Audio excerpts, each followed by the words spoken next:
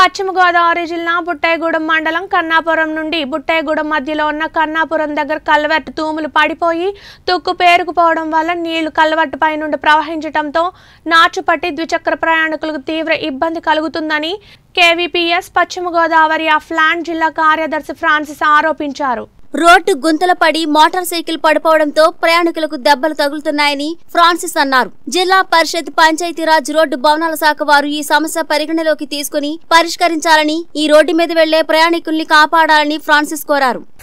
నా పేరు అందుగుల ఫ్రాన్సిస్. పొలం పోరాట సంఘం జిల్లా కార్యదర్శి.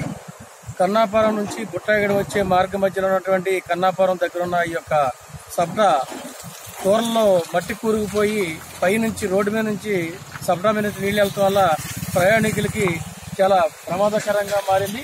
ఇమ్మీడియట్గా కూరల నుంచి ఆ తుప్పు తీసి ఆర్ఎండ్బి అధికారులు ఈ యొక్క ప్రయాణికుల్ని కాపాడాలని కోరుతా ఉన్నాం.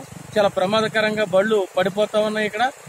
మహిళలతోటి వెళ్తుంటే ద్విచక్ర వాహనాలు కానీ మోటార్ సైకిళ్ళు అలాగే ఆటోలు కానీ ఇబ్బంది వచ్చే పరిస్థితుంది ఈ నీళ్ళు కూరల నుంచి తుప్పు తీసేస్తే నీళ్ళన్నీ కూడా కింద నుంచి పోతాయి. అప్పుడు సప్డా మీద నీళ్ళు వెళ్ళవు కాబట్టి ఈ ప్రయాణికుల్ని అధికారులు అన్నీ స్పందించి కాపాడాలని కోరుతా ఉన్నాం.